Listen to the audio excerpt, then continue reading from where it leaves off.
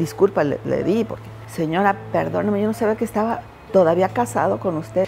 Mis miedos, tal vez, este, conocer a mi padre, me daba mucho miedo.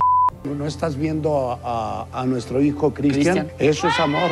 Había tenido al niño y decidí no, no volver a enamorarme. Verónica Castro es una de las actrices más carismáticas del mundo del espectáculo, quien tras haber protagonizado emblemáticas telenovelas como Los ricos también lloran y Rosa Salvaje, sigue vigente en el corazón de la audiencia que constantemente la recuerda. Es por eso que ahora Verónica Castro volvió a hacer noticia luego que se estuvo sincerando en una entrevista que le concedió a la periodista Patti Chapoy, estuvo recordando aquel momento en el que ella tuvo un romance con el recordado comediante Manuel el Loco Valdés, y de esa unión nació Cristian Castro, a quien tuvo que criar sola porque Valdés tenía otra familia y otros hijos en su matrimonio. Recordemos que Verónica Castro mantuvo una corta relación con el actor y comediante Manuel el Loco Valdés, cuando ella tan solo tenía 21 años y él 42. En esta entrevista con Patti Chapoy, la protagonista de Los ricos también lloran, dijo que cuando se enteró de la verdad, ella buscó a la última esposa del loco Valdés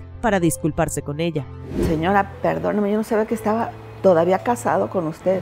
Dijo que habló con ella para explicarle que jamás quiso hacerle nada malo. No, me dijo, ya, ya no, ya no, ya no estábamos juntos. No se preocupe, Verónica. Pues aparentemente ella no tenía conocimiento de que él se encontraba casado. Así que para ella significó un gran error haberse metido entonces con este hombre, a pesar de que le dio la mayor bendición que pudo haber tenido en su vida. Pero sí me sentí con la obligación porque lo, que menos quería en la vida era la una mujer. También admitió que estuvo muy enamorada de Manuel el Loco Valdés, pero ella decidió concluir entonces con la relación cuando le dijo que sería papá. Pues tampoco vas a tener a fuerza de que dame dinero y que yo voy a hacer problema. Verónica Castro contaba con su madre, Doña Socorro, quien le brindó todo el apoyo sin ningún tipo de reproches. Le dije, quiero tener a mi hijo.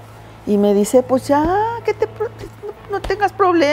A lo largo de su trayectoria, la mamá de Cristian Castro ha protagonizado varios romances con distintas personalidades del mundo del espectáculo, aunque ninguno de ellos terminó en el altar con ella con un felices para siempre. Y para Verónica Castro tampoco fue fácil el hecho de ser una madre soltera en un entorno donde en aquel momento se hablaba que los hijos que eran nacidos fuera de algún matrimonio no estaban para nada bien vistos.